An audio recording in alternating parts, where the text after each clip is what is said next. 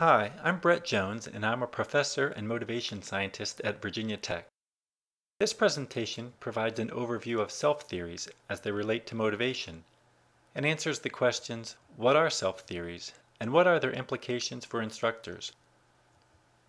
I'd like to start by asking you to rate three questions from 1 to 6, where 1 means disagree and 6 means agree. Please write down your answers so that you remember them. You have a certain amount of intelligence, and you really can't do much to change it. Your intelligence is something about you that you can't change very much. You can learn new things, but you can't really change your basic intelligence. Pause the video if you need more time. Otherwise, continue by averaging your scores to the three items by adding them up and dividing the sum by 3. Pause the video until you complete this.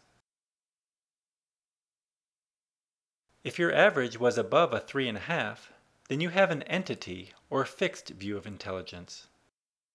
If your average was below a 3.5, then you have a view of intelligence that is called incremental or changeable.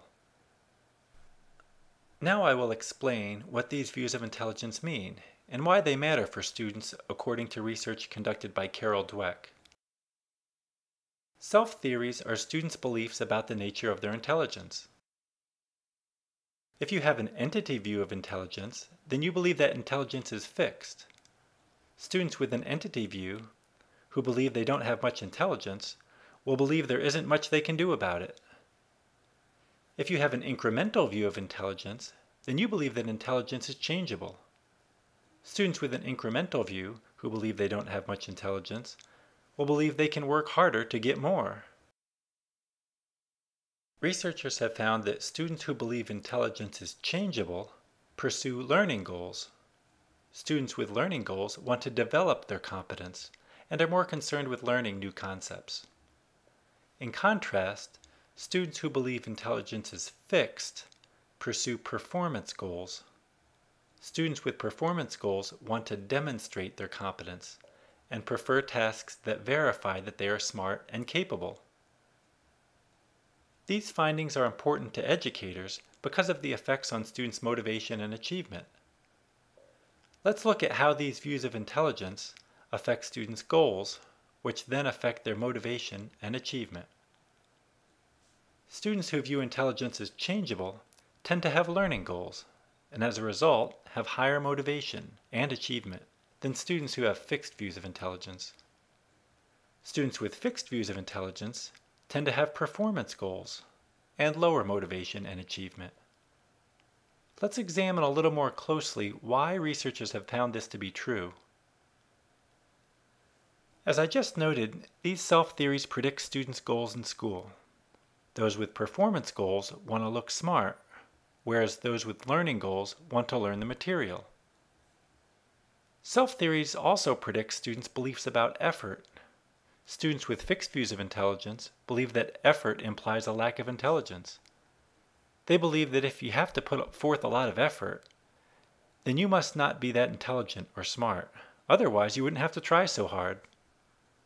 Students with changeable views of intelligence aren't as likely to think this way. They believe that effort leads to learning and that they need to put forth effort in order to learn more. Self-theories also predict students' explanations of failure. Students with fixed views believe that failure shows a lack of ability. They reason that if they don't do well, it must be because they don't have the intelligence or natural ability to do well in that area.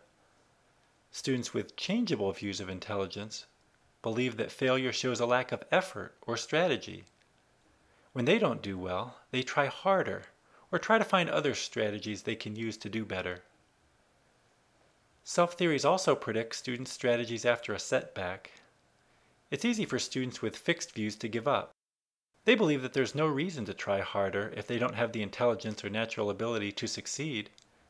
Students with changeable views of intelligence are more likely to persevere and continue trying because they believe that with more effort or better strategies, they can succeed. Now that you have the basics, I'm going to quiz you to see if you understand these concepts. I'm going to give you 10 different situations, and I want you to determine whether the student believes that intelligence is fixed or changeable. So for each of these first five situations in part one, determine whether the student is likely to have changeable or fixed views of intelligence. Write down your answers as either changeable or fixed. Number one, a student believes that failure means low intelligence. Number two, the student's goal is to look smart, even if he is sacrificing learning. Number three, the student's goal is to learn new things, even if the learning process is hard or risky. Number four, a student believes that failure means low effort or poor strategy. Number five, after something becomes difficult, a student's performance worsens. Pause the video if you need more time to write down your answers. Now let's look at the answers. For number one, the answer is fixed, because a student with an incremental view of intelligence would believe that failure means they didn't try hard enough, didn't use the correct strategies, or simply didn't have the necessary knowledge. Number two is fixed because a student with a changeable view would not sacrifice learning. Instead, he would do what was necessary to learn the material and develop his competence. Number three is changeable because a student with a fixed view of intelligence would not risk learning something hard if she did not believe that she had the intelligence to succeed. Because if she failed, others might think that she's not intelligent. So why take the risk?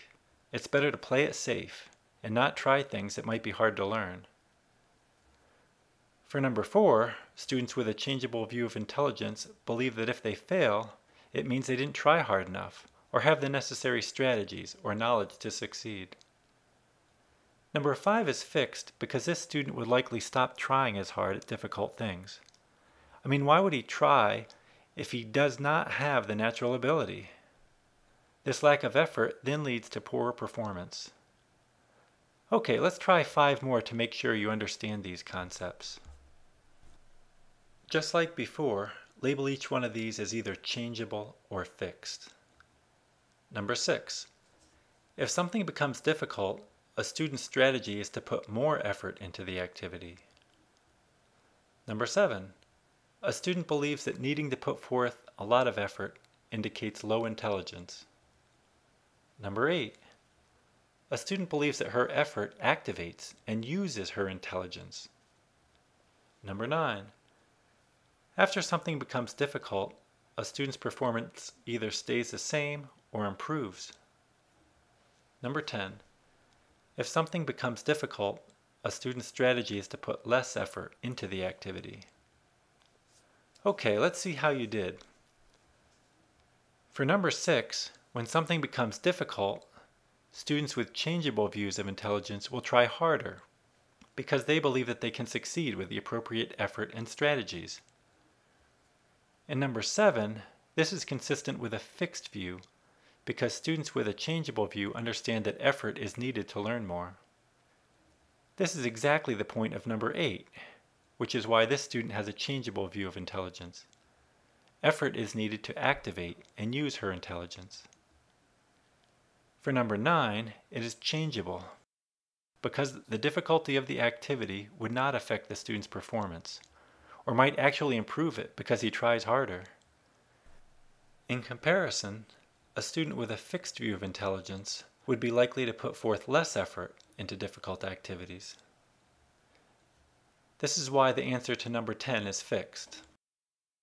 I hope that you understand these concepts well at this point now let's use these concepts to answer the question, what are the implications of self-theories for instructors? Well, what can teachers do to affect students' beliefs about intelligence? For one thing, they can focus their feedback on effort and not on ability, such as intelligence or smartness. They should say to students, you must have worked hard, or you did a good job drawing, instead of you must be smart, or you are a good drawer. This might seem simple, but I can tell you from experience that it's hard to do. Often in classes, or even with my kids, I find myself saying, You're good at that. It's easy to say when someone is good at something. I usually catch myself and then follow it by saying, You really worked hard at that, in a tone that communicates my belief that working hard was a good thing. Another thing teachers can do to affect students' beliefs about intelligence is to criticize the process, not the person, by saying, Maybe you could think of another way to do it, instead of, I'm very disappointed in you. You don't want to make it sound like they failed because of something innate that is part of them and cannot be changed. This would imply that intelligence is fixed. Instead, you want to focus on the process they use because that is changeable and that they could use a different process next time and succeed. So you might offer them other strategies they could use to study or learn the material. Another thing teachers can do is to explicitly talk about ability as being gained through effort as opposed to something that one is born with. For example, at an appropriate time during the instruction, a teacher could say, Geniuses such as Euclid were dedicated to math. Not that their natural talent led them to brilliance. Of course, you have to be honest and accurate about such statements, but this is not hard to do if you look up some famous quotations, such as the one by Thomas Edison, where he said that genius is 1% inspiration, 99% perspiration. Quotes such as this convey the idea that even very famous people believe that their success was due to their great efforts. Teachers can also affect students' beliefs about intelligence by evaluating students using standards that compare them to their prior performance, not to other students. Finally, researchers have found that teachers can affect students' beliefs about intelligence by citing scientific findings related to brain research. In some studies, researchers have shown students how intelligence is increased when neurons and dendrites form new neural connections. By conveying these ideas through readings or videos, they have convinced students that they can grow their brains. These types of interventions have led to students changing their views of intelligence from more fixed views to more incremental views. If you are familiar with attribution theory, You've probably noticed that these strategies related to self-theories build on the basic ideas provided in attribution theory. Now I want to place these strategies related to self-theories within the bigger picture of motivating strategies that can be used by instructors to motivate students. The music model of academic motivation provides key motivation principles for instructors to consider when designing instruction. A more complete explanation of the music model is provided elsewhere, such as in Jones 2009 and at the motivatingstudents.info website. But here I want to briefly explain this model and how the instructional strategies related to self-theories fit into the music model instructional strategies. The music model states that instructors need to ensure that students believe that they have some control over some aspect of their learning, understand why the content is useful, believe that they can succeed if they put forth the effort, are interested in what they're supposed to be learning, and believe that the instructor cares about whether they meet the course objectives. These five key principles can be remembered by using the mnemonic music. The ideas related to self-theories of intelligence are most directly related to the success component of the music model, which states that students need to believe that they can succeed if they put forth the effort. The self-theories of intelligence ideas are useful because they help answer the question, what can instructors do to help foster these success beliefs? Instructors can help students believe that intelligence is changeable using the instructional implications I just presented. There are other theories that also help explain ways a teacher can foster students' success beliefs, but clearly the implications from self-theories are important to students' motivation. The purpose of this presentation was to provide an overview of self-theories of intelligence as they relate to motivation. More explanation of this theory can be found in the references cited here. I have links to other information and videos on my website at www.motivatingstudents.info. Feel free to contact me by email at brettjones at vt.edu.